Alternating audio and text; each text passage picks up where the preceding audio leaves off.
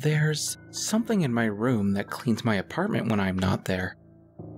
By Weird Bryce Guy. The first time I came home to find my room cleaned, I thought my roommate had done it. That he had probably made some kind of mess while drunk with friends and had tidied things up. Even going beyond the state of cleanliness I typically left it in. Nothing was missing or broken, so I hadn't said anything. Considering the matter resolved. When it happened a second time, things were a bit more unusual, because not only had the room been thoroughly cleaned, it had also been reorganized. My desk, which normally sits before the windowed wall, perpendicular to my bed, had been moved to the wall opposite to the one against which my bed was placed. Beneath the window was a plant that I hadn't ever seen before, soaking up the sunlight that poured into the room. The carpet had been freshly vacuumed. The wastebasket had been emptied, and my bed sheets had even been switched out. I immediately knew this could not have been the work of my roommate. Even if he weren't notoriously lazy in matters of hygiene and organization, he still couldn't have moved the desk on account of his presently broken arm, a consequence of his drunken adventures. The desk is massive, a gift from my father who had used it for nearly a decade in his study back at home. It has many compartments in which he had stored his writing tools, small books, and other materials pertinent to his work. The key to these locked drawers had been lost when I moved into the apartment, so many of these objects still remain in the desk, inaccessible. With all that added weight, it would have been impossible for my roommate to move it Unless my roommate had violated the terms of the lease and made a copy of the key for his girlfriend, no one else had access to the apartment. And even if he had, his girlfriend hates me and wouldn't have done something so considerate. Even though logic argued against even the possibility? I asked him if he had cleaned my room, or if he at least knew anything about how it had been cleaned. I've caught him in lies before, having become quite adept at catching him in them, as my food often mysteriously disappears from the fridge. So I knew that he was telling the truth when he denied having any knowledge about the incidents. Ironically, he asked me, quite sternly, if I had given anyone an unsanctioned copy of the key. Since things hadn't yet escalated to being frightening, I decided not to do some paranormal activity style setup with cameras and sensors and all that. I also just couldn't reasonably afford such equipment. The idea of some cleanliness obsessed intruder seemed ridiculous and virtually impossible. Even though I couldn't think of a more plausible explanation, I figured that whatever the cause, the result was only to my benefit. I did decide to try and do better to keep the room clean, so that my unknown benefactor did not have to work so hard to maintain it. Assuming, of course, they were planning to continue. Things became truly unsettling the third time it happened. It was about a week after that previous incident. I had gone to bed late, having been busy with some work I had taken home. I still awoke at my usual time, needing to present the very same work to my supervisors first thing in the morning. I hadn't had time to tidy up the night before, nor in the morning. I'd barely managed to get myself in order before heading out. When I arrived home later that day, the room was clean. Immaculately clean. I've never been in the military, but I imagine that the level of order, alignment, and neatness present within that room would have made a drill sergeant proud. It would have put the best housekeeping services of the most luxurious hotels to shame. It was model like. I felt unclean in comparison, unworthy of entrance, standing at the threshold of that pristine space. Someone, something else, must have felt similarly. Because as I took a tentative step into the room, I was suddenly, violently hurled back into the hallway. As I landed, dust was brushed from the shelf by some invisible force, floating away into nothingness. Apparently, there had been one last task to be performed before I was to be allowed entry. I quickly scrambled to my feet, more alarmed than physically shaken. I expected, subconsciously hoped, to see my roommate's grinning face peek around the corner. But no face appeared. And regardless, I'd had a clear view into the room, and would have seen even the slightest instant of corporeal movement. There was nothing visible that could have propelled me backwards. I hadn't tripped or stumbled, hadn't the momentum for any sort of faltering to have occurred. Patently afraid, I betrayed my logical mind and called out into the room. Hello? Seemed to echo through some gray space, as if the walls had receded to greater dimensions on some other plane, leaving only after images of their original placements. When no one answered, I decided to again try entering the room. I remember then that my roommate wasn't even home, that I was alone with the apparently immaterial presence.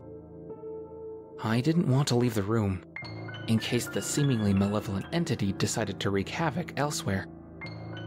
It wasn't courage that led me to step inside and close the door, but neither was it stupidity.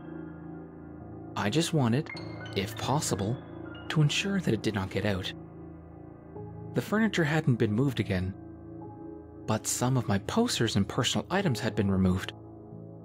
Pretty much anything that had shown or represented what you might call distasteful or controversial imagery was absent, or tucked behind more appropriate items. Posters showcasing death metal members or their album covers video game figurines of monstrous creatures, books whose spines displayed titles pertaining to the horrific, macabre, and occult, all removed or hidden. Who or whatever had cleaned the room had taken special care to eradicate or obfuscate anything that might have made a nun, or an old lady, scowl. The air, which I had somewhat anticipated to be heavy with some spectral residue, was surprisingly light and breathable. As if the atmosphere too had been sanitized. It was paradoxically both calming and terrifying. Physically refreshing, but psychologically unsettling. The force or entity had already shown itself to be capable of physical violence. And while it hadn't acted again, the possibility that I was powerless to defend myself did not by even the slightest measure assuage my fright. I was knocked out of my terror induced contemplations by the collision of a small object against my forehead. It hadn't hurt much, so I wasn't immediately sent cowering to a corner. I looked and found the item and picked it up.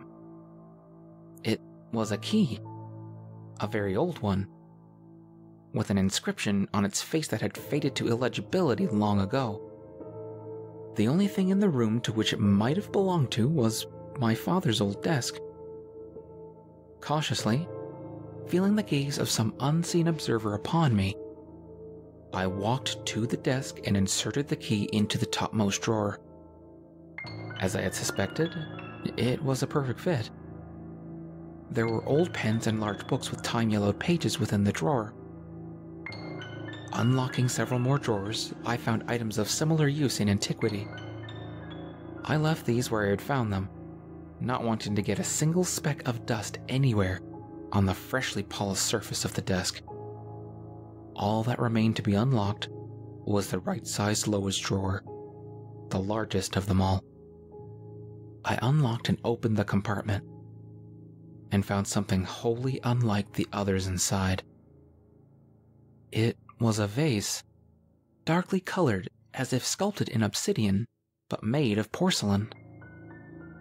It was capped by a small knob, also porcelain, with remnants of some sort of wax sealant ringed at intervals around its rim. There were no markings or embellishments that could be seen on the body of the vessel, but the structure and craftsmanship nonetheless suggested it was of high value, financially or culturally. I placed it on the desk, handling it with delicate care that I hadn't consciously thought to employ. It had what can best be described as a funeral air.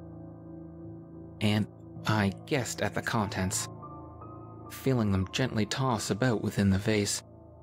In that moment, I had forgotten, or perhaps was made to forget, the shocking supernatural happenings of only moments before. A morbid curiosity had taken hold of my mind, and urged by a powerful, though unknown impetus, I picked away the sealant and removed the cap. As if it had been pressed inside the cap, something within surged upwards, propelling me back. The source of the eruption was invisible, but the pressure was undeniably tangible. I was knocked to the floor by a force even greater than the one that had pushed me into the hall. I feebly climbed onto my bed. The wind knocked out of me. The vase, despite the sudden interruption, hadn't moved from its place on the desk. Whatever had poured forth from within had done so without even making the thing wobble.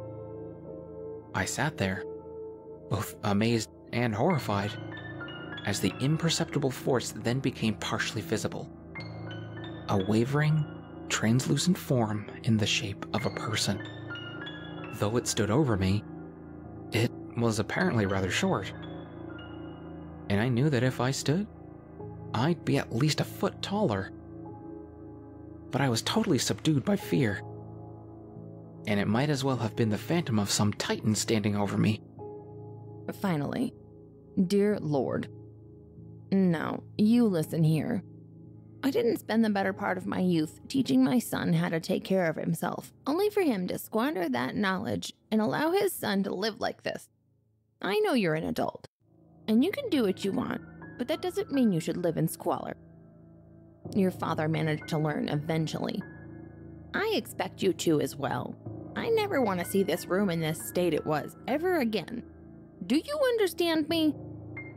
I nodded, utterly perplexed by the specter's heated lecture, unsure of how else to respond.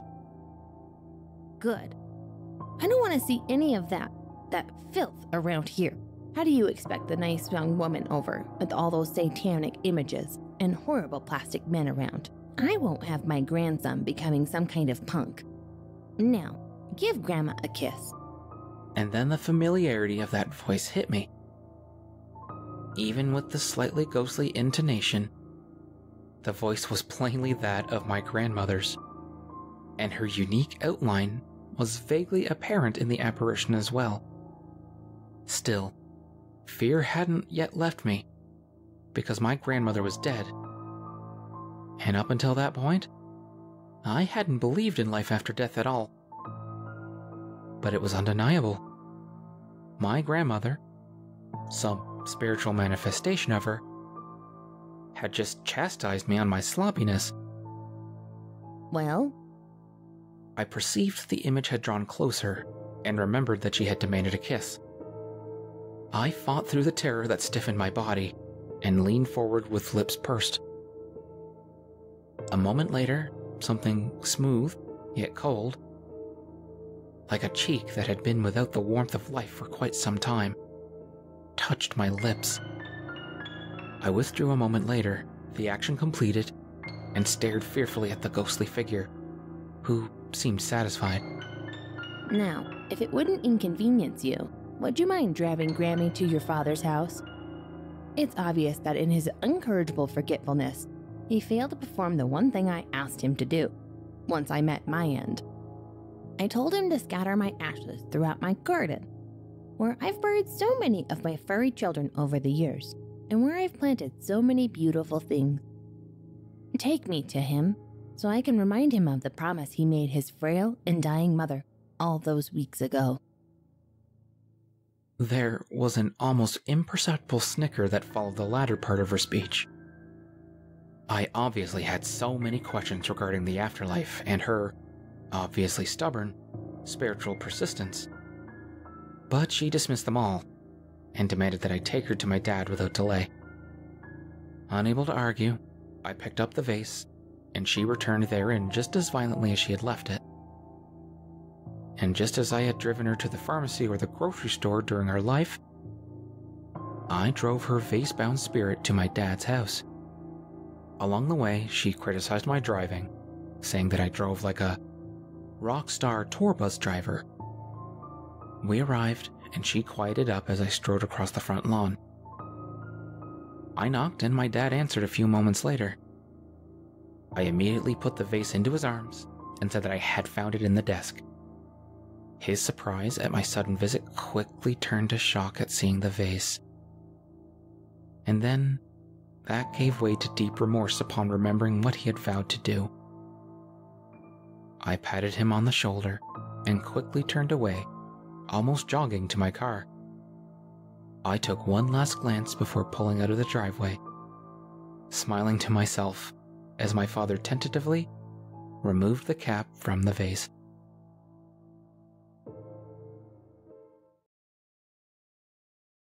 Some pals chilling in your house at night a bedtime story for adults. Written by Glass. When you shut your eyes, does the world around you still exist? The only correct answer to this question is obviously. What should concern you is whether or not it exists in the way you've been perceiving it.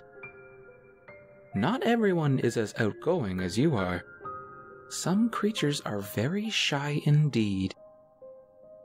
They want to get to know you and help you out. But they aren't so certain you'd be receptive to their whole deal. So they wait until the darkness falls and your breathing becomes soft and regular before they emerge. I'm going to introduce you to three of them now. It's natural to be nervous meeting new people, but these three already think you're just swell so don't stress out about it. The first one you may already be a little familiar with. They are certainly the most outgoing of the three. If you've ever tossed and turned on your pillow, your mind a churning hellscape of bad memories and future anxieties, Hush has most certainly been by your side. They are a creature of the quiet. They do not make a sound, not ever. They can sense restlessness like a shark scenting blood in the water. And like a shark, they rush over to investigate. Unlike a shark, however, Hush will never bite check your vibe. They will simply lean over you a very little bit, concerned, and reach out a hand and very, very gently touch your head. All at once, these racing thoughts have stopped dead in their tracks. The music has ceased looping. The stress has receded. Hush has made your mind quiet and settled. The peace hits you immediately, like a weighted blanket. Unfortunately, the side effect of this is that you are suddenly very prone to sleep paralysis. Hush does not know about sleep paralysis, and they would certainly never try to make it worse. If your mind's eye opens and looks up, you may barely make out a face with empty eyes, and the mouth a tightly and very neatly sewn seam of black thread. Hush has been focusing on you, leaving you free, under these odd and unlikely circumstances, to perceive their face. It is possible at this point for a surge of fear to break their connection with you. Should you reawaken, Hush will be hidden away. They certainly didn't mean to scare you. Hush is a very gentle being. They are an excellent friend and pal to have within your house at night. The next time you feel sleep hit you like a sack of bricks after hours of tossing and turning, take a moment as your consciousness fades to thank Hush for being so nice to you. I'm sure that they will appreciate it. Our very next cool dude is Hello. He thinks you're just adorable. And when you get up in the dark, he can't help but follow you around a little. He doesn't follow you into the bathroom. He has enough of a grasp on privacy to know not to do that. And at heart, he is a gentleman. As you mosey to and from your bed, picking your way carefully in the dark, he is just behind, leaning over you. He is very tall, you see, and drinking in all the charming noises you make when you are sleepy and bleary. He likes the way you move about. He thinks you're such a funny little guy. It's not very easy for him to move around, all folded up inside your house. He's putting in a special effort. Most of the time, he's sitting on your floor, stretched out a bit, reading your books, or trying to imagine what it's like for you to cook in your tiny kitchen. He'll go in every once in a while and check on you as you sleep. Your peaceful face is almost magnetic. Everybody looks so sweet and charming when they sleep. He never lingers to stare, though, because he doesn't want to cause you nightmares. The next time you're making your way back to your bed and you sense something moving around in the dark, don't turn around. Hello is a lot to take in all at once, especially if you're not expecting him. And frightening you really would make him feel very bad. Hello has such a soft heart. Finally, we have our last and least familiar nighttime visitor. Who's there? She's more interested in your stuff than you.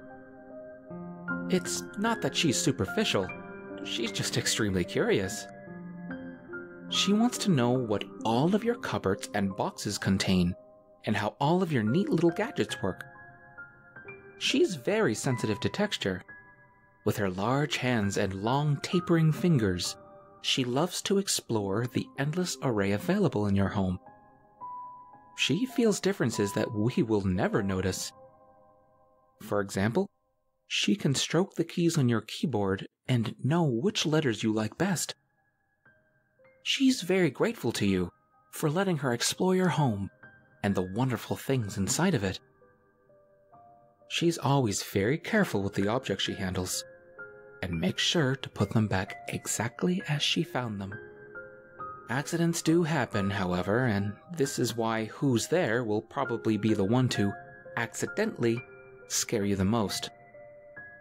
Every once in a while, something will slip out of her long fingers and fall over, or land on your floor. She stands very still while you rush out to investigate, wondering how you know it's her if you can't seem to see her. When you go back and fall asleep again, she's twice as careful as she was before. Because she's heard that sleep is very important to humans, and she feels bad for interrupting it. However, Who's There has been known to cause accidents on purpose, but only when she thinks another human being is trying to get in. She knows that only the sleeping humans belong, so if another one comes creeping along ever so stealthily, she will, oops, knock something over that just happens to make a racket, and give you a better chance to make this new human go away. Often they leave of their own accord. Who's there really does want a good life for you. And although she can be a little clumsy at times and make you afraid, she really tries to make up for it by keeping you safe. Hush, Hello, and Who's There always travel together. Sometimes they get in one another's way, but they never fight. They are very companionable and even tempered. Just the kind of visitors you might want in your house, I think. They've really enjoyed visiting you and learning about you. They really like you a lot. I hope you can rest easier and feel less lonely, knowing that these good friends are around watching over you, and wishing you the best.